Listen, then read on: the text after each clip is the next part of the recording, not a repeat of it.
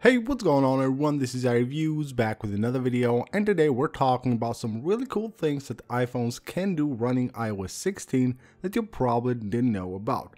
iOS 16 is amazing, it has a lot of amazing features and of course even more are coming with the release of iOS 16.1.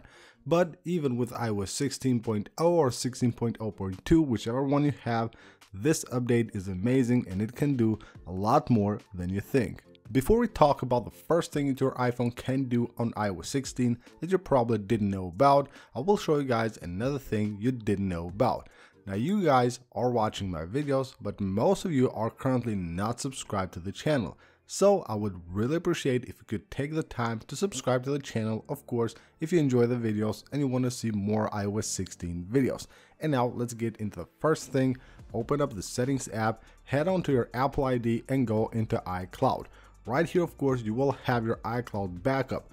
With iOS 16, now you can manage your backups on your device. So you can see here I have the backups that I have. I only have this one for my iPhone here.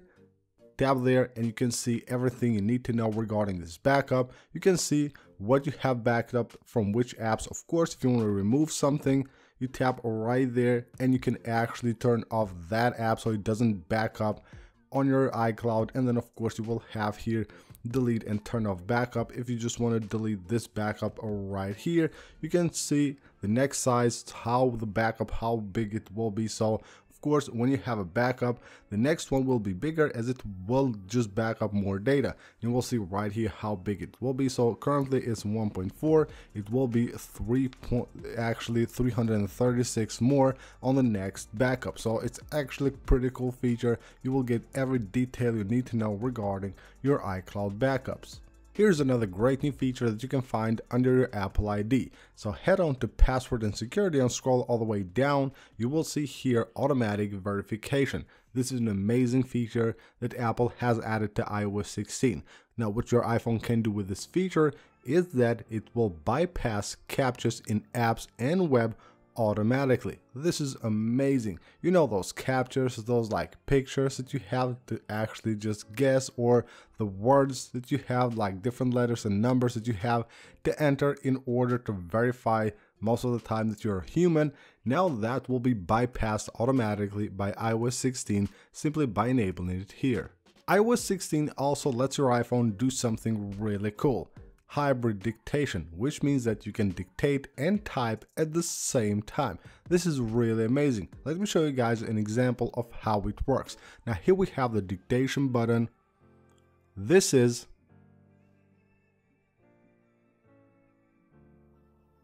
dictation. Just like that, as you can see, I can dictate, then type something, then dictate again, and it won't stop. It will actually be very, very accurate. Now this is a really big new feature of iOS 16, the ability to see the list of all the networks you have connected to and also see their passcode. I can do this for this list or you can even do it for the current network you're connected to. So all you have to do is go to your settings, go to the Wi-Fi section and tap the edit button that you will find right there at the top right corner. And then you will see a list of all the networks here. So maybe there's a network you have connected before, you want to know their passcode, maybe to share it with someone. All you have to do is just tap that little I button and it shows it here you can just tap on the passcode and it will actually reveal the passcode and even give you the option to copy it to your clipboard. Of course, one of the cool new features of the iPhone 14 Pro, the dynamic island. It's actually really cool and it looks amazing, but you can also close it. Now here's how you close it. You can see if I have something playing, of course it will show right there on the dynamic island, but if I don't want to see that, all I have to do is just swipe like that from the right to the left. It will actually remove that item, whatever that is, from the dynamic island. I can go ahead and try that again. So here we have like a timer and you can see it's right there on the dynamic island. If I just don't want to have it there, I can just swipe like that and we're good to go. Now here is something really cool that you can do on your iOS 16 device that you probably didn't know about. Now this is having these like dynamic wallpapers on the lock screen. Now these are actually really really cool. Now the way it works is of course it works with the ability to set shuffle photos on the lock screen. You probably know about that new feature on iOS 16 and of course you have to combine that with these wallpapers. Now to get these wallpapers you will need an app which I will show you guys in a second but just take a look right here how cool this is you can see once you tap they will start moving so you will have to actually keep tapping there. You can stop at any wallpaper and you will have this like dynamic wallpaper which looks really really cool. Now let me show you guys how to achieve this. Now for this to work you will actually need to download this app which you can download for free from the app store.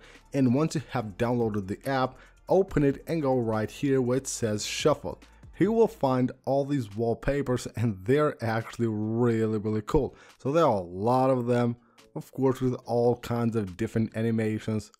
Just choose one that you might like. You can see here a lot of them. Let's try out one here. So let's just try this one. So what you need to do here is simply tap on save shuffle and this will save the entire wallpaper. So you can see right here there are a bunch of wallpapers you will need to get. So all you have to do is just tap right there. We already saved this. So it will download all of them at once on your photo library. Next you need to head on to your setting to your lock screen actually. On the lock screen just go to create a new lock screen and choose photo shuffle once it takes you to your photo library just choose the photos that you just downloaded. Start from here and go all the way here. So 1, 2, 3, 4, 5, 6, 7, 8, 9 and tap the add button. And now we're good to go right here. What we can do now is tap the three dots right there and just choose on tap. Once you have done that, tap on done. It will save this. And now we're good to go. So you can see on tap, this will change the wallpaper and of course have a dynamic look, which is really, really cool. On iOS 15, if something uses the microphone or the camera or the location on your device, you will see it on your control center. Well, if you're on Safari and let's say um, a website will use your microphone or maybe your camera, you now you with iOS 16 you will exactly know which website. So if I'm here on YouTube and try to do like a search, I just use the mic there you will notice now that if I go out of here and go to the control center, right here on the control center it will say Safari but if I tap there it will show me exactly the website which was using my microphone in this case. Here's another really useful feature for the notification center. When you go to your notifications on iOS 16 you don't have to do this to clear a notification all you have to do is just swipe like that and you can just dismiss all those notifications. Now of course the Files app is like a quiet app on iOS but with iOS 16 it actually got a bunch of new features which are really useful. And one of them this right here text box. So when you open a PDF what you can do is tap there and it will give you options. If you tap the plus button we can now actually add text text from a box or we can add a signature or we can just start typing from here. So you can see add text box so you can add of course that text box and move it anywhere. You can resize it here or you can even of course add your signature. So all the signatures that you have saved you can use them and of course always you can resize them and move them around add them anywhere you want and with PDFs on iOS 16 and any other things that you can actually print, you can now type the number of copies you want. So when you go to the share sheet and you tap print on any document that you can print from iOS, you can now just tap there and it allows you to set the number of copies that you want for that document. So that is it for this video guys, these are 10 things that you can do on your iPhone running iOS 16 that you might not know about. Hope you guys enjoyed the video. If you did, make sure to subscribe for more videos like this. And of course, don't forget to leave a like on this one as it helps out a lot. I'll see you on the next video.